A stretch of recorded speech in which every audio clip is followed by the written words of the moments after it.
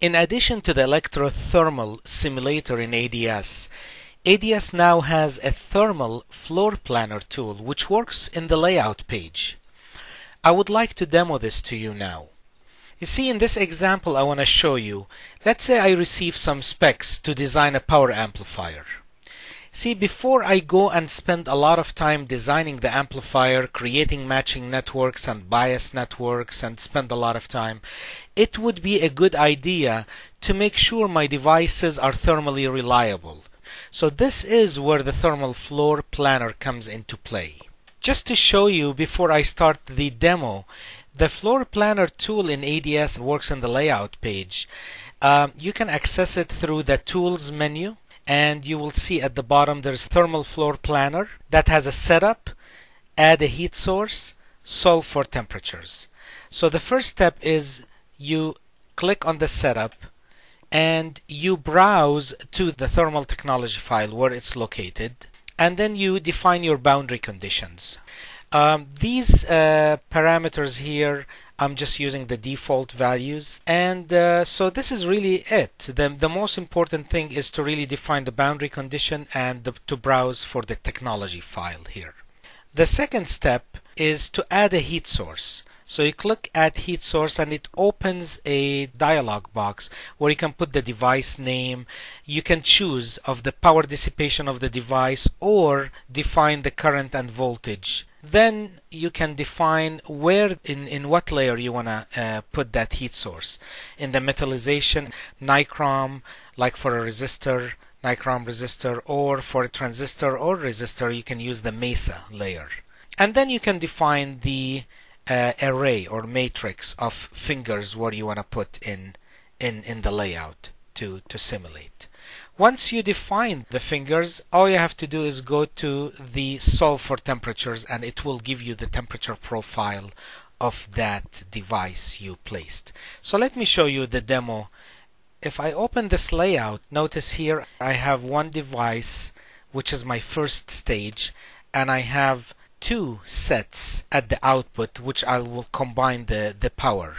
If I click on this, notice that dialog box I mentioned to you. I define, I say this device is running at 5 volts and it's uh, it drawing 60 milliamps total. I'm using the heat mesa for the heat sources here, the, the layer. And I'm defining, you know, these this array, the fingers. Notice I have four rows, one, two, three, four and one column and I'm defining the pitch, the distance between each, the center of each finger, 24.15 micron, which, which I know already from my device layout. Same thing here at the output, I have 5 volts 120 milliamp, so as this one. Now the next step is go to tools, I solve for temperatures. So it opens up the temperature profile as seen here and notice my maximum temperature on the left side here is 204 degrees. That's very hot and you can look at the profile here. So we must do something to reduce the temperature before we start the design. So I close this and I go to cell number 2. What I decided to do to reduce the temperature is to have devices with two fingers and separate, have separation here. Still, if you click on this, you will notice that it's 5 volts 30 milliamps, so as this one, 5 volts 30 milliamps, the total is 60 milliamps, just like before. Same thing here, which has double the current, 560, 560 and etc. It's 240 milliamps at the output. So I have this trial to, to see what temperature profile it gives me. So I solve for the temperatures here. Hmm. Notice now the temperature dropped down to 158 degrees maximum. So you can see by separating the fingers and combining the power at the output from the devices, it does help. So you as a designer decide what you want to do to separate smaller devices and combine the power for this or not. Go further with more trials in this cell, cell number 3, I decided to add the via. See the device has a source vias anyway and if I run this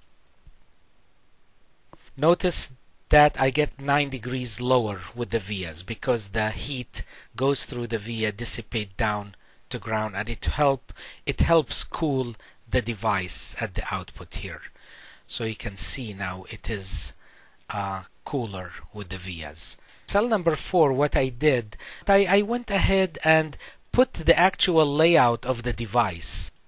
If I look here and I select the heat mesa notice that I still have all the heat sources as before I just overlay basically the layout of the transistors on top of the heat sources. And what I did in this uh, experiment here also is I added also some resistors.